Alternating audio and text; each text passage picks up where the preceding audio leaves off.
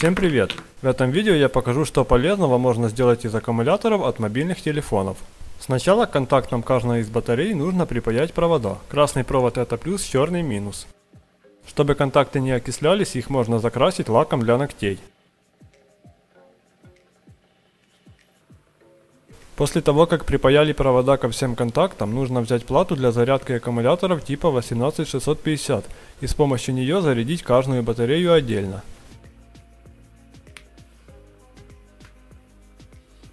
Когда аккумуляторы зарядились, с платы нужно отпаять разъем microUSB.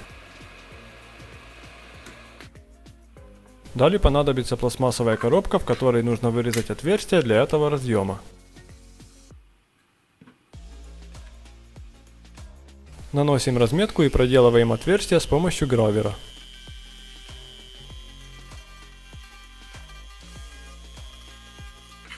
Все неровности обрабатываем при помощи надфиля. Плюсу и минусу разъема нужно припаять провода и после этого зафиксировать его в проделанном отверстии.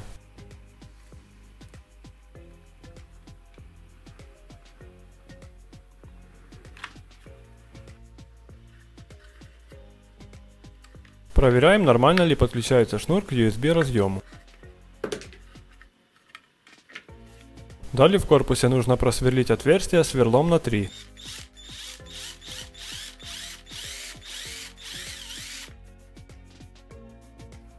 В отверстие вставляем светодиод и также фиксируем его на термоклей.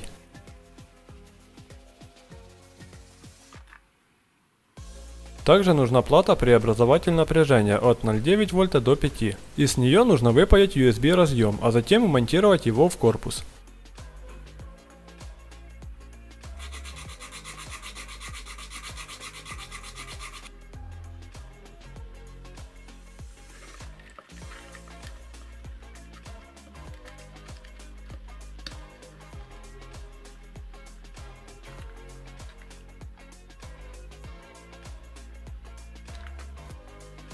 На дно коробки нужно наклеить несколько полосок двухстороннего скотча, на который будем крепить аккумуляторы от мобильного телефона.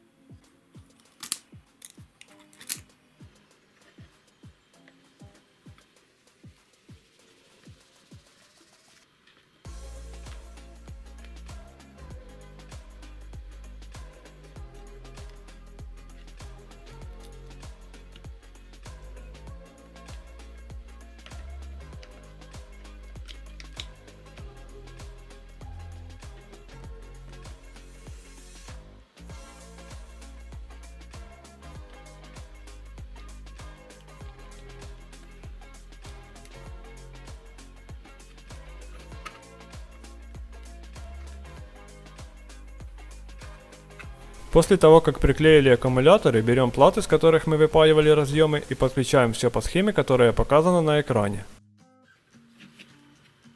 Вот так вот все получилось. Кстати, за кадром решил монтировать еще клавишу. Все, на этом этапе можно закрывать крышку.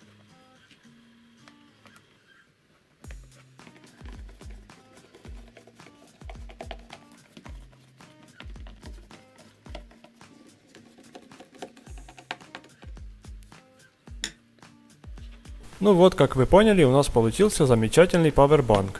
Кстати, емкость всех аккумуляторов составляет 10100 мАч. У многих пауэрбанках, которые продаются в магазинах заявленной емкостью 10 тысяч мАч, по факту является всего лишь 6.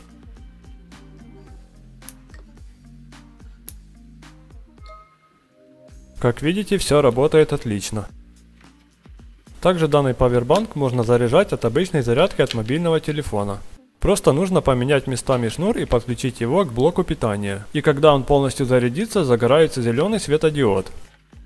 Думаю, что у многих есть аккумуляторы от нерабочих телефонов, так что такую самоделку повторить стоит. Еще я решил взять кусок кожи и пошить чехол для этого павербанка. Кому интересно как это все делается, пишите, выложу ролик. А кому такое видео понравилось, ставьте лайки, пишите комментарии, делитесь им с друзьями, подписывайтесь на канал и не забывайте нажимать колокольчик, потому что видео выходит регулярно каждую неделю, но не все об этом узнают. Всем спасибо за просмотр и всем пока!